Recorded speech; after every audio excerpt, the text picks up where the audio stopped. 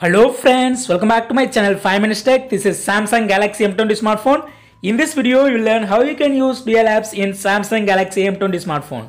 First, go to the settings and click on advanced features and here select dual messenger and here already supported apps are shown that is uh, installed apps should be shown here otherwise if you want to add some more apps you go to install it first here I selected first WhatsApp and click confirm and click next you can also use contact selection on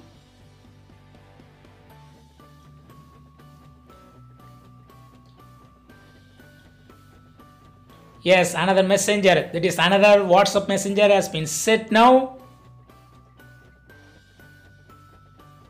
In this way, you can use it for Facebook also.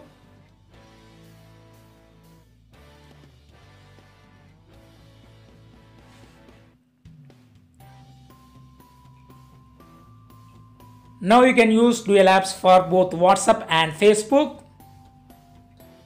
Dual apps icons are there. This is original and this is duplicate. You can sign in into two accounts in the same single phone.